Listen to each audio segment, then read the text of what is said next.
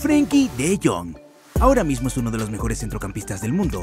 No solo eso, es probablemente el artista más singular en su tipo y posición.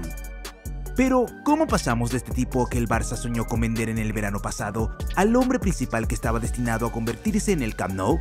Vamos a descubrirlo en el video de hoy. Dale a me gusta si apoyan al Barça y admiras el juego de Frankie. Suscríbanse a Fútbol Club, un canal de periodismo de fútbol de alta calidad. Y no olviden escribir en los comentarios a continuación desde qué ciudad y país nos están viendo. Sin más preámbulos, procederemos a empezar.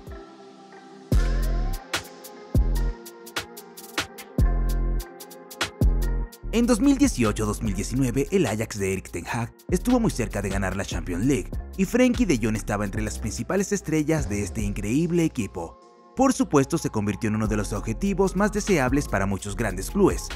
La emocionante carrera se desarrolló entre el PSG y el Barcelona y los catalanes finalmente ganaron esta difícil batalla y desembolsaron 86 millones de euros por los servicios del holandés. Mi elección del Barcelona fue porque era el club que más cariño me daba. El prodigio explicó su elección. Uno puede encontrar todo el asunto como una verdadera historia de amor, que solo puede tener un final feliz, aunque hasta esta temporada, Frankie tenía la reputación de una transferencia que no estuvo a la altura de las expectativas. Luego vino la 2019-2020, un desastre total tanto para el Barça como para el estelar recién llegado, ya que los catalanes no solo no vieron ningún trofeo, sino que sufrieron la infame derrota por 8-0 ante el Bayern en una sinopsis perfecta de toda la temporada. De Jong intentó dominar el papel de mediocampista central izquierdo, pero los resultados fueron bastante modestos, decepcionantes para no decirlo menos. 42 apariciones, 2 goles y 4 asistencias. Por suerte, la campaña 22-21 resultó ser un paso adelante para nuestro héroe con la llegada de Ronald Koeman, que conocía a la perfección todas las virtudes de Frenkie como seleccionador de Holanda y de hecho bajo el mando de Kuman de Jong se reveló fenomenalmente. Jugó en diferentes posiciones, líbero, centro atrás, un solo centrocampista defensivo y un centrocampista central con la funcionalidad de un centrocampista ofensivo que a menudo se encuentra en la delantera. Como resultado, fuimos testigos de su progreso significativo, especialmente si miramos más de cerca sus estadísticas, 51 partidos, 7 goles y 9 asistencias, Frenkie se convirtió en uno de los líderes del equipo, a menudo llamado el segundo futbolista del club después de Messi. Por cierto, fue en ese hueco donde el holandés levantó su primer trofeo con el Barcelona, la Copa del Rey. No hace falta decir que se esperaba que la carrera de 2021-2022 fuera la mejor para el mediocampista, pero sucedió algo completamente opuesto, la pura decepción. Cuando Xavi se hizo cargo de los Blaugranas, todo el mundo creía que de inmediato develaría el potencial de Frenkie para que todos vieran el motivo por el que el Barça pagó casi 90 millones de euros por el chaval. Pero las cosas estaban... Mmm, complicadas. Otra temporada sin trofeos y un paso atrás respecto al anterior, 47 partidos, 4 goles y 5 asistencias. En el verano de 2022, el Barcelona intentó abiertamente deshacerse de Frenkie por dos motivos. El holandés no pudo desplegar todo su talento en el Camp Nou, Frenkie tenía uno de los salarios más altos del club, 37 millones de euros por pagos aplazados, por lo que le ofrecieron un salario más bajo. De Jong no aceptó. La situación se volvió más acalorada y nerviosa posible. Frenkie estaba profundamente ofendido por el club y no tenía idea de por qué revelaron los detalles de los salarios al público. Sin embargo, el holandés sabía claramente cuál era su prioridad. A pesar de las súplicas de Ten Hag para unirse al Manchester United, de Jong en realidad quería demostrar que tenía lo necesario para volver a las filas de uno de los líderes del equipo nuevamente. Frankie amaba la ciudad y al propio equipo, por lo que le resultó doloroso aceptar la nueva realidad. Frankie comenzó la temporada como suplente, pero lo que sucedió a continuación sorprendió a todos los expertos en fútbol.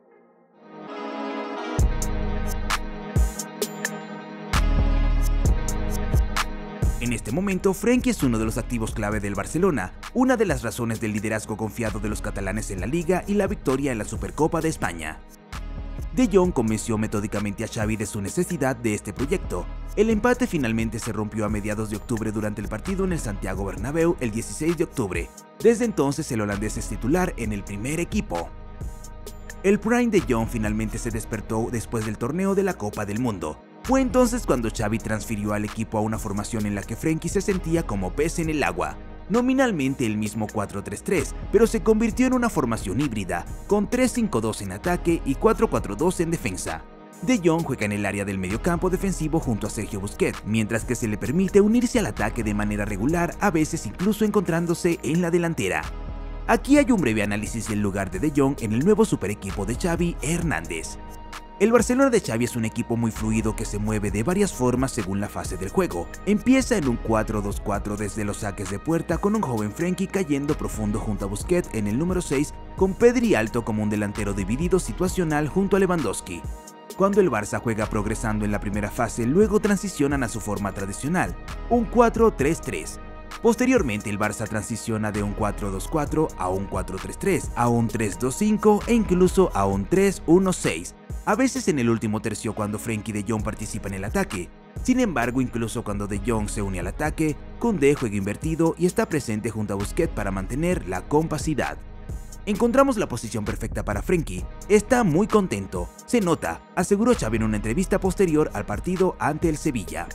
Siempre me ha gustado De Jong, es uno de los jugadores que más uso. Frenkie De Jong posee todas las cualidades que necesita un centrocampista del Barça. Es uno de los mejores jugadores del mundo. Xavi no oculta la impresión que tiene del miembro actual de su plantilla. Y realmente lo hace. Frenkie parece la versión más feliz y equilibrada de sí mismo desde los días del Ajax. El holandés por su parte está encantado con las decisiones tácticas actualizadas de Xavi. Me gusta jugar así, con cuatro centrocampistas, me siento cómodo, confesó Frenkie. Jugar con cuatro mediocampistas es increíble, eso le da la libertad para ser un verdadero box to box, y esto resumiría el hábitat natural del fenómeno Frenkie en el fútbol de élite. Los bloggers de fútbol también están hablando en masa sobre el increíble progreso de De Jong.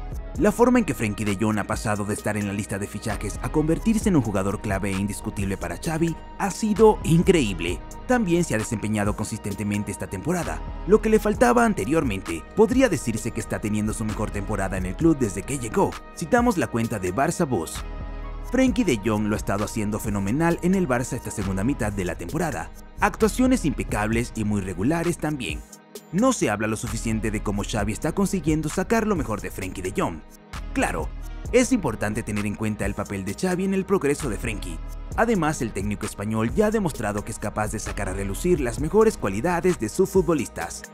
Ahora Dembélé sabe disparar, Gaby sabe posicionarse, Pedri juega más entre líneas, sacó lo mejor de Busquets, Ter Stegen volvió a su mejor nivel, Araujo mejoró en el juego de balón, Xavi está cocinando algo genial últimamente, eso es seguro.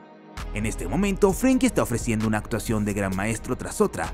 Por ejemplo, echa un vistazo a sus estadísticas durante el choque contra el Real Betis, donde fue seleccionado como uno de los mejores jugadores. Y aquí está su clase magistral en el duelo ante el Sevilla. Y para colmo, aquí hay un impresionante mapa de calor, que demuestra cuán dominante es Frenkie en su posición en Barcelona. Xavi, eres un genio. Gracias por darnos esta versión de Frenkie de Jong. Presionen el botón de me gusta si también quieren agradecer al jefe del Barcelona. Por cierto, Frenkie viajará a Manchester pero solo como uno de los líderes del Barcelona. La novia de De Jong hizo una gran broma al respecto. Amigos, ¿creen que Frenkie es uno de los mejores centrocampistas del mundo en este momento? Compartan sus pensamientos en los comentarios a continuación. Suscríbanse a nuestro proyecto si disfrutaron del video. Fútbol Club es un canal de periodismo futbolístico de alta calidad. Amen siempre el fútbol y hasta la próxima. ¡Adiós!